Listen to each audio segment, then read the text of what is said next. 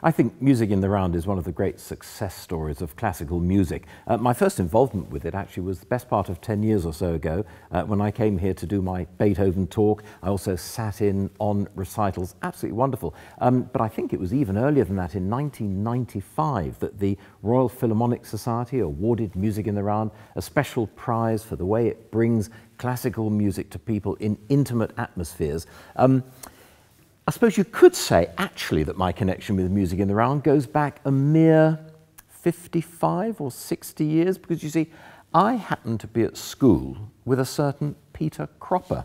And even more than that, he and I both played violin in the school string quartet. Only he went on to better things.